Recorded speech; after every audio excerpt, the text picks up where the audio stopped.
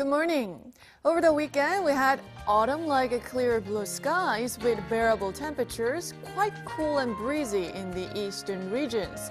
And for today, monsoon rain is in the forecast for most parts of the country. Rain clouds are moving in from the west with showers since early this morning, and soon most parts will see moderate to heavy monsoon showers.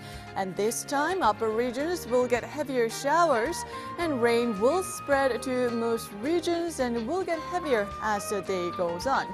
And Seoul could see up to 80 millimeters of somewhat heavy showers until tomorrow morning. And temperatures will not rise much. Seoul will see highs 3 degrees lower than yesterday, topping out at 25 degrees Celsius. And Daegu will have another quite breezy day at 23 degrees, but Gwangju and Jeju will be warm at 29 and 29 degrees Celsius. Good morning.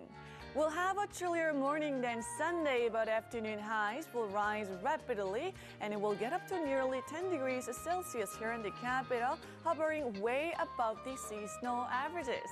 And for a closer look, the high in Seoul will get up to 9 degrees Celsius, while Daegu and Gwangju will see highs rising nearly 15 degrees higher than morning lows at 13 and 14 degrees respectively and it's going to be a sunny day for most of the day and we'll have normal air quality.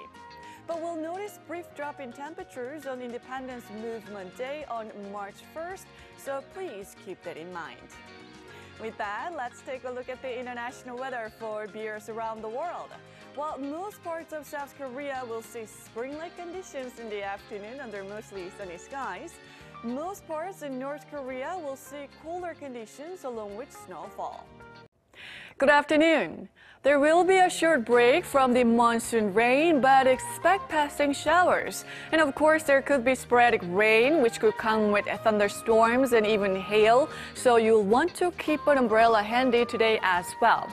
And for a closer look at today's daily highs, Seoul will get up to 28 degrees Celsius, while southern regions will notice highs going up 2 to 5 degrees higher than yesterday.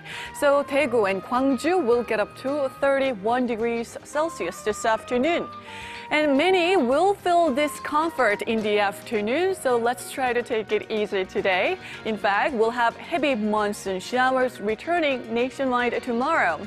And rain could come down hard depending on the region, so keep an eye on the weather updates. With that, let's take a look at the international weather for viewers around the world.